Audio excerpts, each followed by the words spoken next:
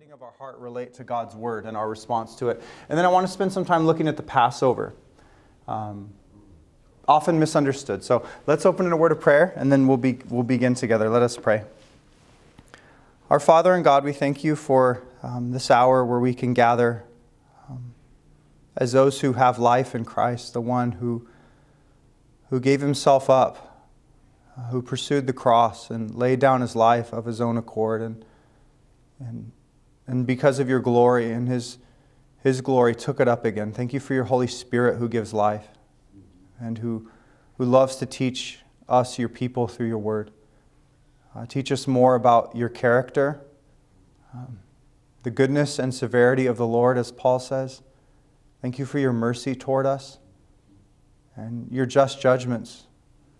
Lord, your, your ways are often beyond finding out, and yet here we have very clear uh, revelation of, of the way you deal with uh, those who are not your people, those who would oppose your people and you deliver your people with a mighty hand and an outstretched arm. Help us to hope um, and your redemption that is to come uh, when your Son returns. In Jesus' name we pray. Amen. Amen. So let's look at the plagues real quick. You know, if, if we look at the plagues, like what, what's going on? Really, they're, they're signs, of course. They're, they're aspects of decreation. God is taking his creation, and what he's doing, he's throwing it into all sorts of disarray when you think of the plagues in that regard. Um, let's look at the, they, there are really three sets of three here.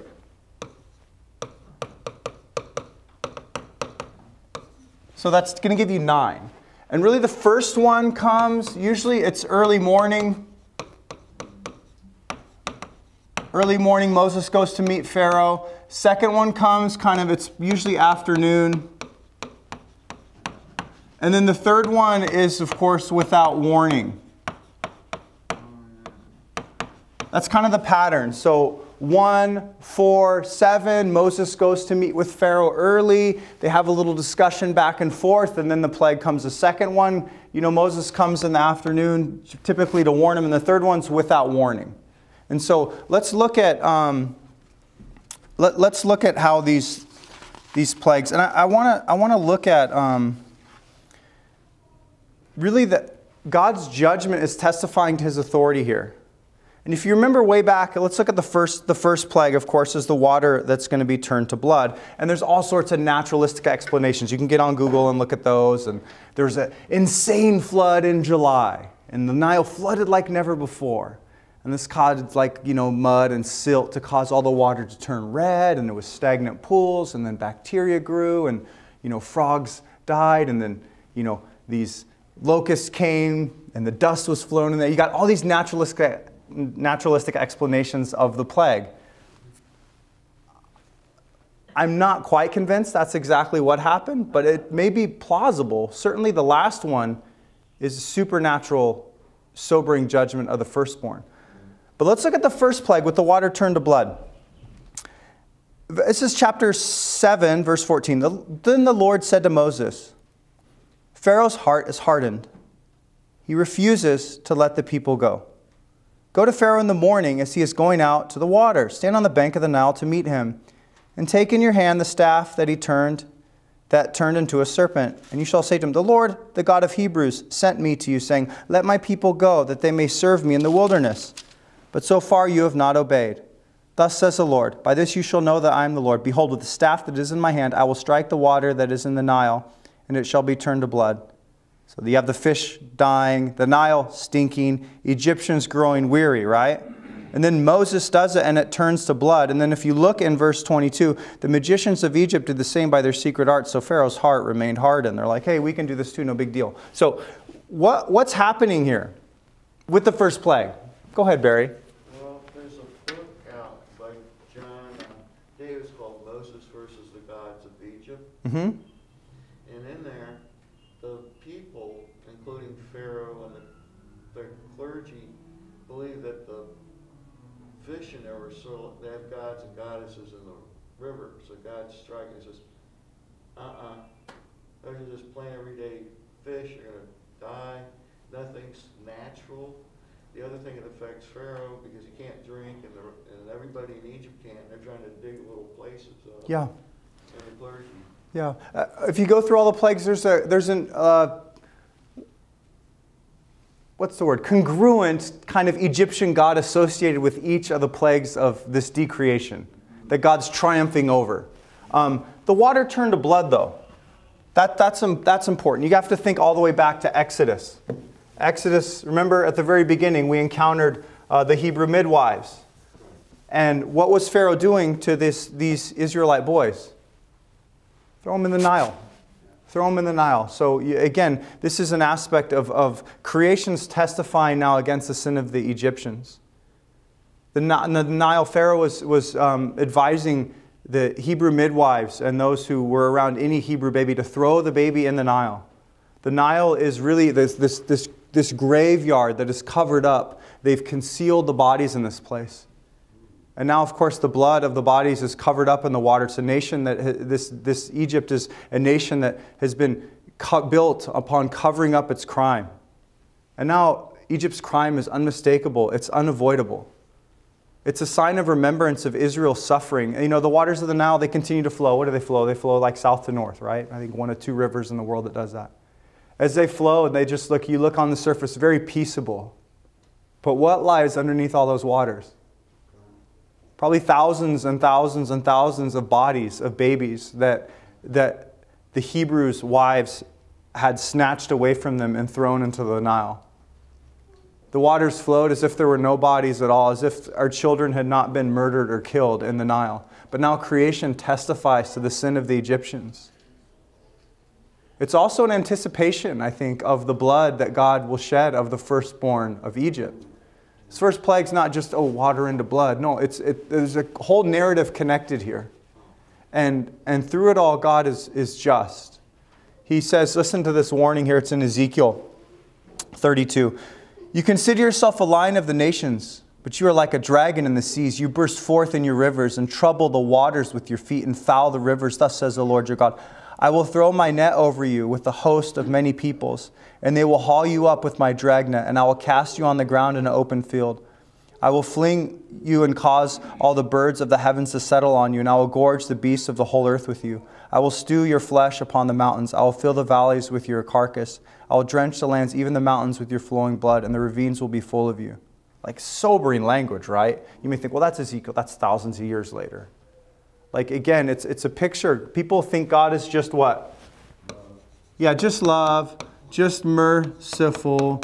And it's kind of understandable, right? Because when you think of Christ's first coming, he comes not to condemn and to judge, but to save, right?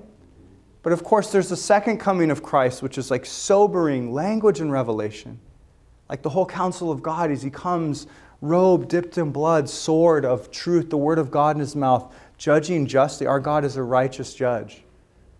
Like it's it, he's both merciful and yet righteous and holy and just. And this first plague is, is really telling for all those reasons. Egypt's like a graveyard. And, and you think, like, why doesn't God just whisk his people away, right? Why go through all this, these shenanigans with the plagues? What do you think he's doing there, class? Don't be shy. Why, why, why go through all the plagues? Is he just vindictive and you know a little overkill or harsh justice, overzealous reciprocity, retributive justice here by God, or is it just like why doesn't he just whisk Israel away? These are signs that show forth his almightiness, that he is God, that he is sovereign. Hmm. Yeah. He's defeating Hapi, the god of the Egyptians in the Nile, on his home turf. He's triumphing over their gods. And what else is he doing? He's teaching his people about who he is. and they need to learn that, right? They, they've been in, in Egypt for so long, they've heard the stories about their fathers, but they haven't seen the mighty acts of God's deliverance. They haven't learned the full orb of his character. Now, these plagues go basically, um, the plagues move upwards from the very base of Egypt and the Nile up through the buildings of Pharaoh to the waters, you know, above, and and it, it's it's wild. It's wild. Exodus is more than just delivering Israel and judging the Egyptians for their sins. It's God showing who He is. It's his, Him demonstrating His power, and these different plagues um, they speak to different realms of Egyptian deities. And so let's let's skip ahead and, and look at some of the other, other plagues. Um, I want to look, I want to skip ahead to chapter 9 there. Skip ahead to chapter 9. And this is the, the fifth plague. We have the Egyptian livestock dying, there's boils, and then hail. Six, uh, five, six, seven. Okay, now remember, the plagues go in the cycle of morning, chit chat with Pharaoh, afternoon, and then no warning at all. And so let's look at chapter 9. Mo- verse 1 Moses goes in to Pharaoh, right? Look at, Thus says the Lord, the God of Hebrews, Let my people go that they may serve me. For if you refuse to let them go and still hold them, behold, the hand of the Lord will fall with a very severe plague on your livestock that are in the field horses, donkeys, camels, herds, and flocks. But the Lord will make a distinction, right, between God and his, and, you know, his people and Egypt. And then we see Pharaoh's heart's hardened. And then there's boils breaking out. And Pharaoh's heart's hardened. And so when you think about it, Moses goes in by himself. You think of all the livestock. The natural order of and creation is being set in disarray on account of the sin of human beings, right? Why should livestock die? They shouldn't die, in a sense. Pharaoh should just let them go, and the Egyptian livestock should be just fine. And when you, when you think about um, what, what it says in Romans, because we, in a sense, when humanity sinned, we threw all of, all of creation into this disarray. Where you see the language in Romans that what? Creation groans, right? Creation groans. It's, it's subjected to futility. Let's look in the Romans passage. Creation's groaning on account of the sin of humanity. It's Romans 8.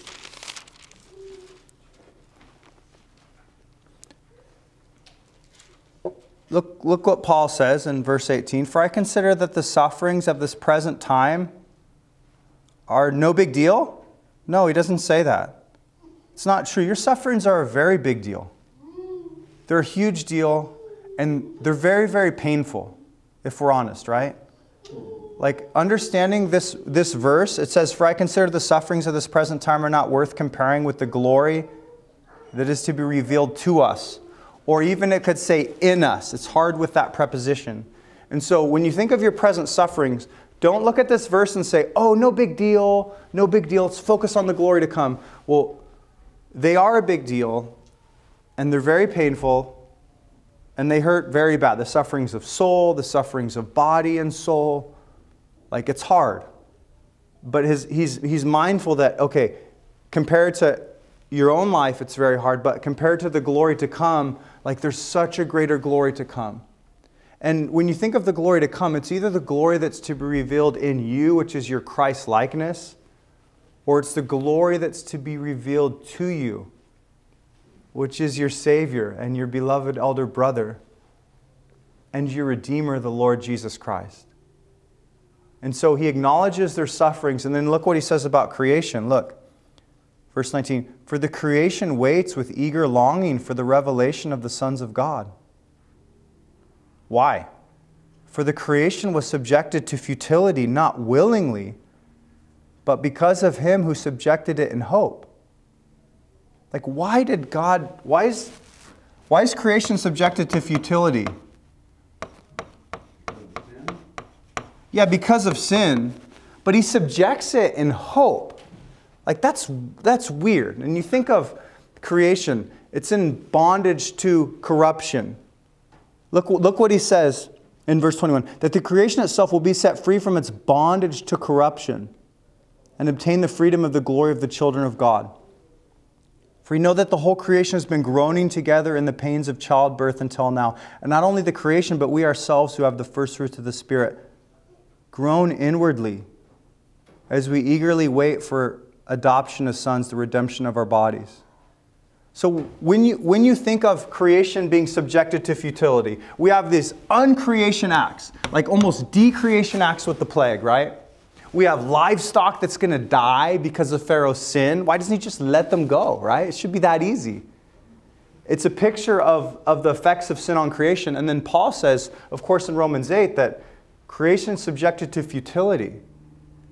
And that creation is groaning, groaning. And then who else groans? Do you know?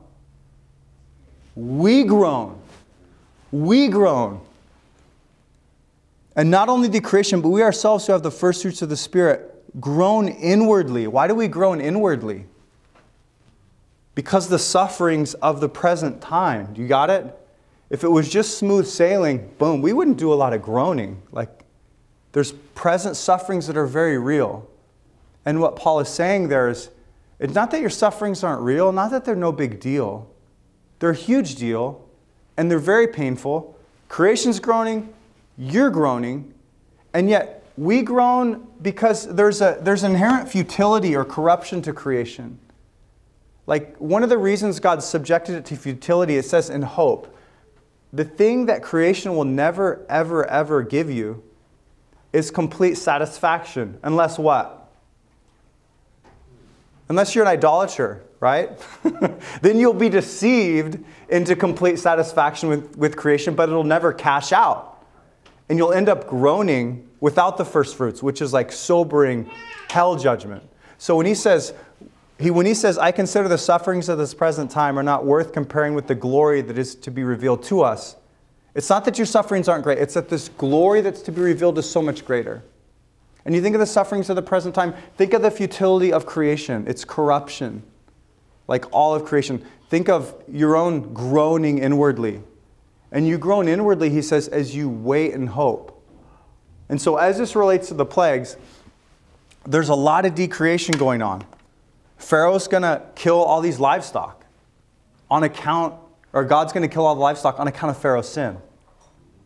God subjected creation to futility and this corruption on account of Adam's sin. And because of that, we groan. You see, the people of Egypt are going to be groaning and crying out. Moses is going to go out from Pharaoh hot under the collar because Pharaoh doesn't want to let God's people go. And so let's look, let's look at this, um, this, this plague. I would say groan, I just my application for you is groan with hope, Christian. Like creation groans, we groan who have the first fruit of the Spirit. It's not sinful to groan. It's a reality of life lived under the sun in this present evil age. And so many people are so afraid, they're like, okay, well, I'll, i kind of need to lament to God, but I don't want to grumble because grumbling's sinful. So I just won't, I won't even lament because I might sin. So I won't even like pray to God or, or groan in prayer to God because, you know, I might sin and then it's bad to sin, so I shouldn't do that. No, pray. Remember what Luther, remember what Luther said to Melanchthon? He said, sin boldly. Sounds scandalous, doesn't it? Like, I'm not telling you to, to grumble and gnash your teeth against God. What I'm telling you to do is pray. And if you happen to sin and, and accidentally grumble against God, He'll forgive you. At least you're talking to the right person. the one who truly loves and cares and knows your groaning and knows your heart and longs for you to bring your heart to Him. It's the reason. Um, it's the reason why he's acting in Exodus this way that he might have a people for himself, to have a relationship with them. And they got to go through all the temple and the types and the shadows, and we just, you know, um, for with boldness and access with confidence, we can come to, the, to, the, to Christ, right? Through this grace in which we stand. It's grace. So there's grace. So my, my, my main point is don't not pray because you're worried about grumbling like pray. And if you happen to sin, like God forgives, like repent. And at least you're talking to the right person. a lot of groaning. Don't think, oh yeah, creation groans. Oh, God knows. No, just talk, commune with Him. Commune with Him. Um, let's look at the, the boils. Um, we, start to move from inconvenience, really, oh, the water and the frogs and the gnats, the, the livestock. We're moving from like inconvenience to what? Personal discomfort here. There's no prior warning. When you think of the plague and the boils, let's look how this happens here. Verse 8 of chapter 9. And the Lord said to Moses and Aaron, Take handfuls of soot from the kiln, and let Moses throw them in the air in the sight of Pharaoh. Now, when you think of the kiln, what should you think of? Remember how they wanted to build um, the Tower of Babel? What did they use? They burned the bricks thoroughly. Do you remember that? Where do you think they burned them? In a kiln? Now, when, when Israel was being treated real harshly, make bricks, hey, we're not even going to give you straw, you got to gather it yourself. Where do you think they burned the bricks? In a kiln. And so when you think of the first plague, turning the water of the Nile into blood, it's exposing the sin of you know, the, the death and the killing and the murdering of all the infants that were just cast into the Nile. The water flowed like nothing happened. No, Pharaoh turns it to blood. This is blood's upon you. Like here, he's, he's exposing like the harsh treatment of the Israelites. Grab the, throw it in the air, it's going to become boils on these Egyptians because of the harsh treatment. It's, it's an aspect of God judging Pharaoh um, on account of the harsh slavery and the treatment of the Israelites. And of course, how does he respond to that? Well, the Lord hardened the heart of Pharaoh, and he did not listen to them as the Lord had spoken to Moses. And so, what's happening here is the magicians have been getting knocked out. Aaron's no longer kind of mediating between uh, Moses and Pharaoh. And what you have is now that the Egyptians and Aaron's out of the picture, we're, get, we're preparing to have the showdown between Moses and Pharaoh. Moses and Pharaoh, where God's going to get deliverance. Um, I guess the hail's a good one for us to look at. Let's look at the seventh plague of the hail. Go ahead, Barry. When I was teaching way back in the day when I was living in Reseda, there was, I looked at the encyclopedia we have in the library by uh, Donovan. Yeah. There was an article by Scientific Americana in there. Tells how they do lightning and all that.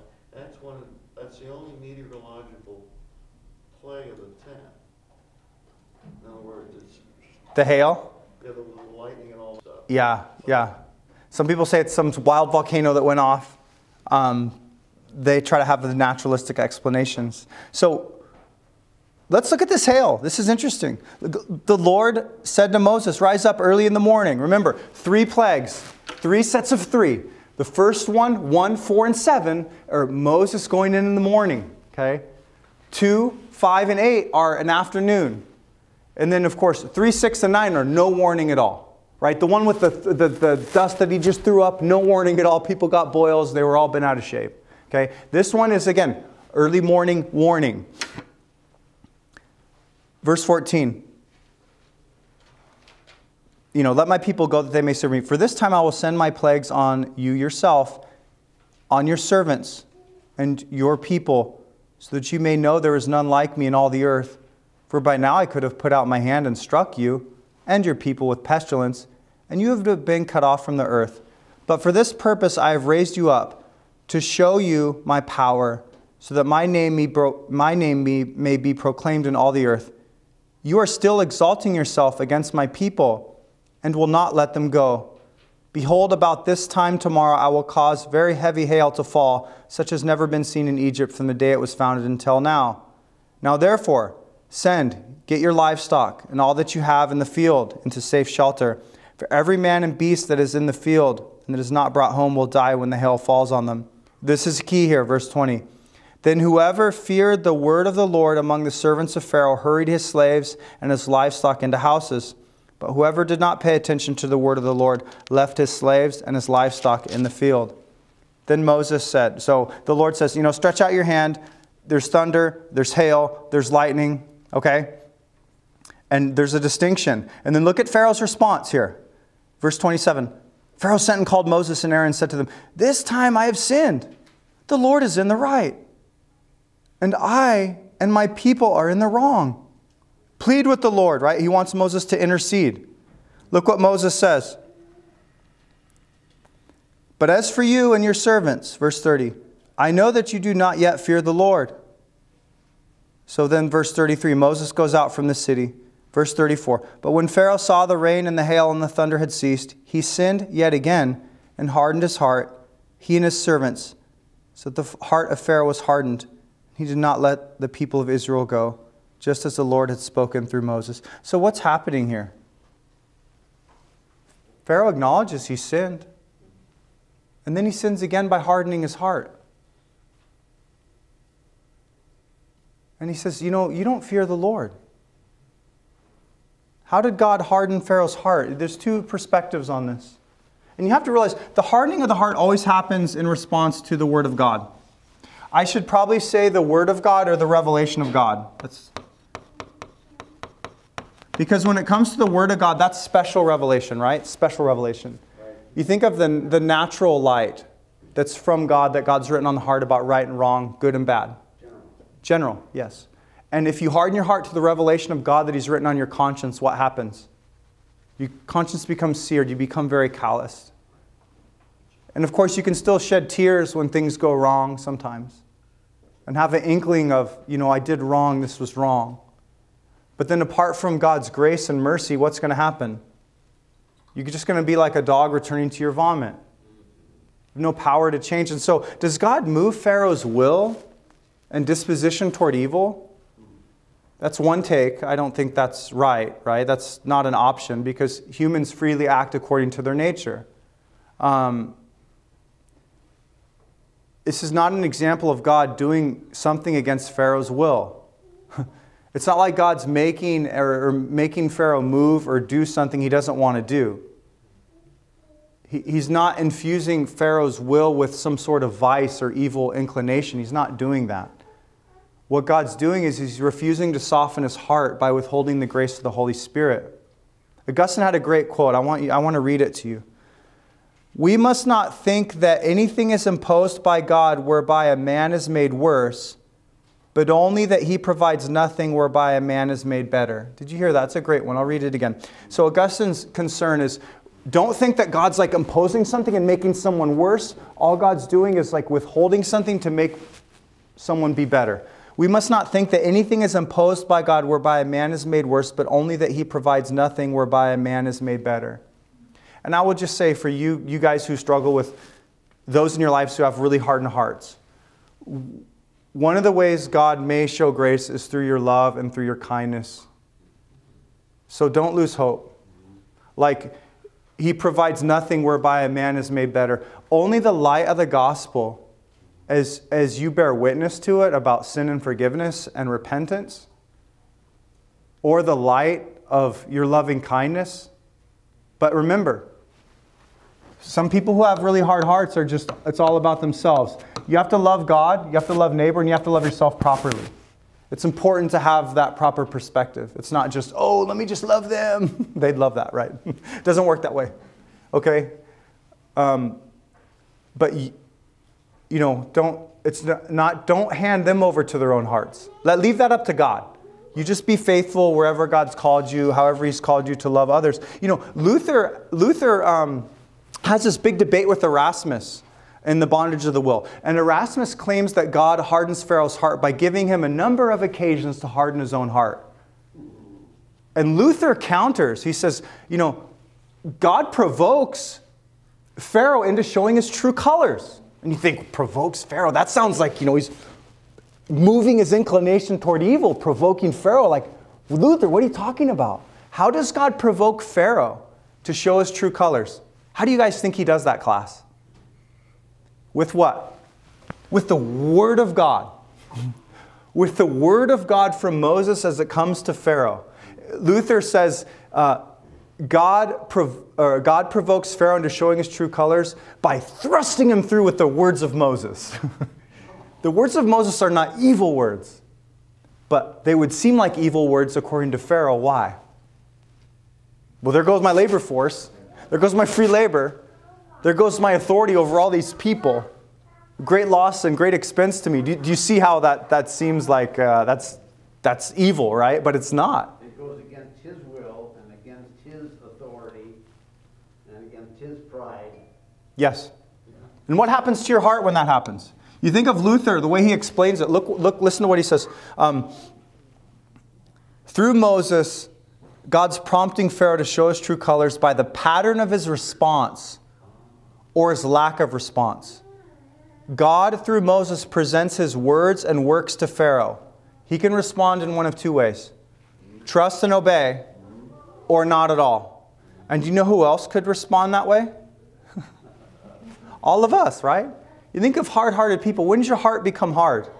You ever been in a time in your life where you didn't want to open the Bible and read it because you didn't want to hear God call you out for a certain behavior? Or maybe you were so overwhelmed with grief, you doubted that the Lord was truly good and had done good. And, you know, you'd rather flee from him or put him off to the side, um, rather not talk to him. The hard hearted person is one who repeatedly refuses and rejects God's word, who rebuts God's overtures, creation, conscience, canon. Like it's, it can happen. Go ahead, Larry. Yeah, Don't we all do that? Uh, or didn't, didn't we all do that apart from God's grace? Yeah, and I, th- I think we still do rebut God's word in creation, conscience, and canon. So we look at Pharaoh and say, what a dingling, you know? Yeah. He just kept making the wrong choices. Well, we did too, apart from God's grace. Yeah. We were running away from him until he graciously saved us. Yeah. So, you know, it's so easy to point the finger at other people and yet it was us. Yeah, our hearts, you think of the language like a heart of stone or diamond hard in some of the prophets. Like that would be our hearts, apart from His grace. And it's His kindness, he says in Romans, that what? That leads us to repentance. Psalm says He doesn't treat us as our sins deserve. Like you, with a strict sense of justice, you may want to treat other people as their sins deserve. You may want to feel like God treats yourself as your sins deserve. And then you walk around in shame and guilt and feel like you can't approach God because your sins deserve you to be far off. Yes, they do. They absolutely do. You don't deserve God. But that's why He came and that's why you can come to Him. That's why He'll never let you go. He who comes to me, I will by no means cast out. He will never, ever, ever cast us off. He treated Christ like. Exactly. And, and Christ was raised. And though we groan, creation groans, like the Spirit intercedes with groans, words that cannot be uttered. Christ is interceding at the. He doesn't give help to angels. Well, who does he give help to? The offspring of Abraham. Like, it's, it's so beautiful. So when you think of the Word of God, you know, these dialogues between Moses and Pharaoh, they're diagnostic. These dialogues are diagnostic. God's word, as you read it, is diagnostic. It shows you where's your heart lies. You love God. I don't mean if you love Him more, then you'll be saved. No, you're saved because He loves you and sent Christ for you. You trust in that. But you, absolutely, you're to love Him more. Love Him as much as you can, as much as you're able, with all your heart, soul, mind, and strength. Live for Him. Your life is not your own. You belong to this one who's redeemed you, who's delivered you. It's not works righteousness, it's a response of the great redemption and salvation God's given us. And so this, this the words are the dialogue is diagnostic. That's kind of the main thing. Um, today, if you hear his voice, Psalm 95 says what? Do not harden your heart, right? He gives this whole picture of Israel in their wilderness wanderings. Don't be like them. They idolatrize, they, they sexual morality, drunkenness, uh, frivolousness, playing, right? You got it all. Like that's they're warnings. They're warnings. Um, let's skip ahead a little bit to the Passover. Pastor, Yeah. um, are you gonna touch on, or what, why does it seem like, uh, as far as what I could understand, that some of the plagues happened to everybody, and some of them spared the land of Goshen, the Israelites that were in Goshen. It didn't happen over there, but that was still in Egypt, so some of the plagues happened to everyone, and I imagine the Israelites too, I don't know. But some of them just happened to the Egyptians, or it seems, is that correct? or- Yeah, I think God's sparing his people and protecting his people. He's making a distinction between his people in Egypt. To show forth. Yeah, his glory. sovereignty, and the, and the same thing is, he who blesses you, I will bless. He who dishonors you, I will curse, right? That promise was given like 455 years ago, right? 700 years ago to Abraham, long time ago to Abraham. And this is playing out of that great promise. Um, Even in nine here, in my translation, let my people go so that they may worship me. For this time I I will send the full force of my plague against you and your officials. Well, kind of when I read that, it- it sounds like they had a free pass before, or Yeah, these are the elite officials, the inner circle. And now they're going to be experiencing like God's judgment. Usually, you know, the officials, they're up in their high palace and they have water from wherever. You know, they're not affected. They close the blinds at night if the gnats are coming, right? You get the picture. But now it's the officials. And it's these same officials we're going to see. If you look in, um, look in, uh, where is it? My goodness. Look in chapter 11 when this final plague is threatened. This is judgment time. Judgment time. Um, there's been a, there's an interlude here in chapter 11. It's a little pause before the final plague is threatened. Look what he says here. Yet once more.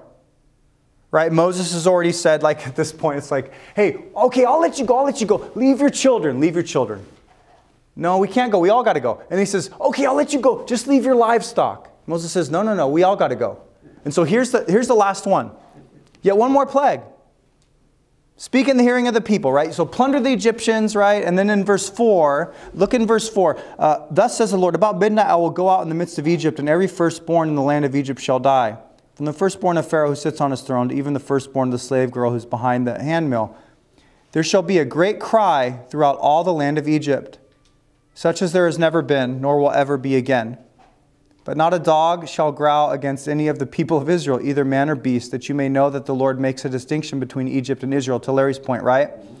And all these your servants shall come down to me and bow down to me, saying, This is, again, Moses speaking to Pharaoh here.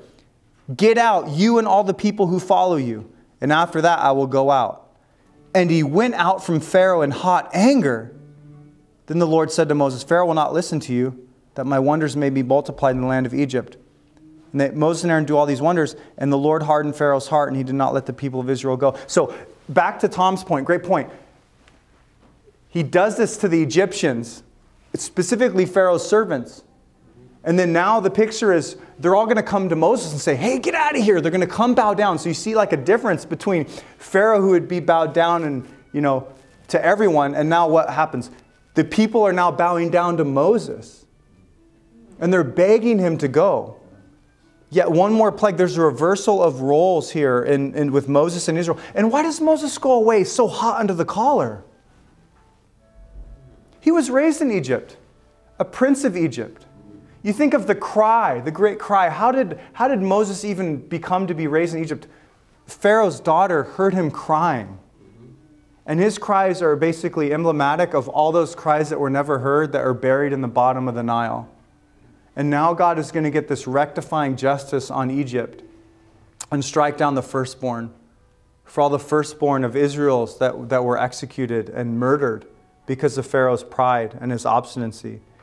It's a great cry. And of course, Israel was crying out too because of what? The harsh slavery and the burdens, right?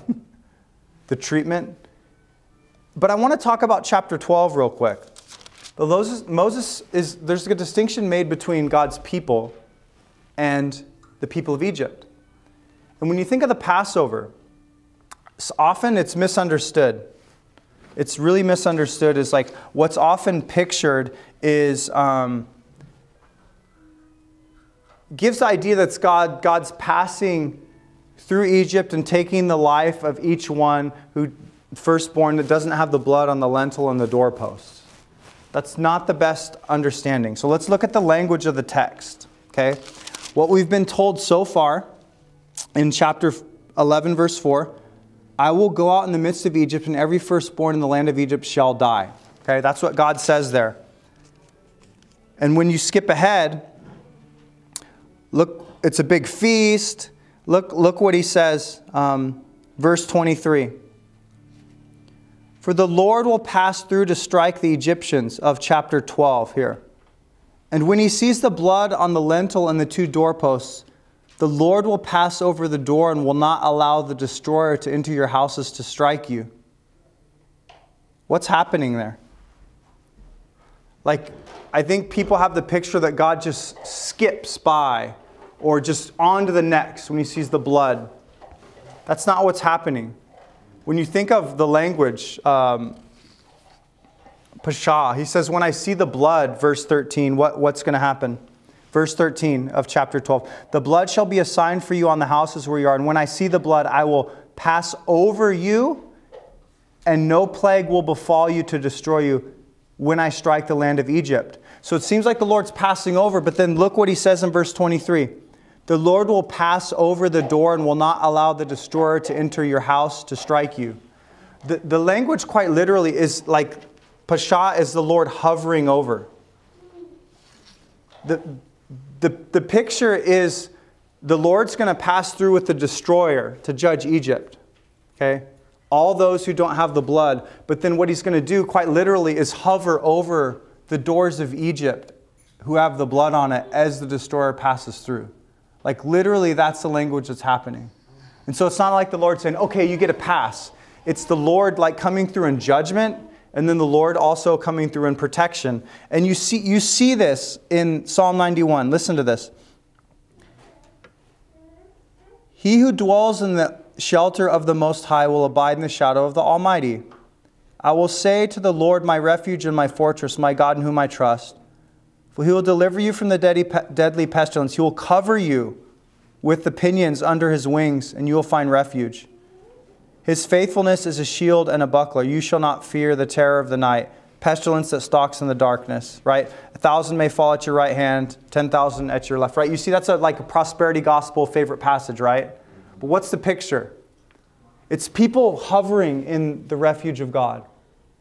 And so the Passover, quite literally, is God's people taking refuge in the sign of the blood and the Lord accepting that and hovering over them as the destroyer passes through. And my application for you is as it relates to the Lord Jesus Christ.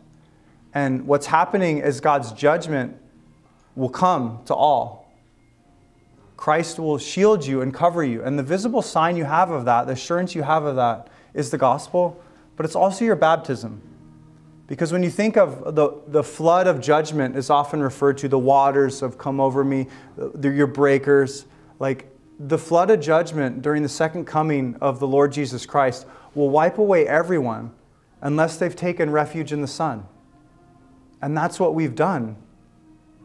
On the cross, God sent Christ. He spreads wide his arms. He, into your hands I commit my spirit. And the one who takes refuge in him will never, ever be put to shame. You'll always be covered um, because you've been cleansed um, because God loves you. And so the picture of the Passover isn't God skipping, it's God bearing the judgment himself, right? It's a picture almost of Christ saying, No, take shelter in here, Christian, and you are mine and you are saved. By faith, do this act. By faith, we receive him, and there's no condemnation for us. And so just continue to take refuge in him. Take refuge in him who came for you. That's why he came. Um, let, me, let me close in a word of prayer. Father, thank you for uh, your word and um, your Son who has conquered sin and death and who has made us alive. Thank you for your Holy Spirit. Um, thank you for this class, Lord. And I pray that you would continue to turn us to your word and, Lord, that you would soften our hearts as we open it. So often we think we're our own, and yet we belong to you in body and soul, in life and in death. So thank you. We have nothing to fear, though there are many things that, that do scare us. Um, may we take refuge in you, our shield and our fortress and our helper. In Jesus' name we pray. Amen.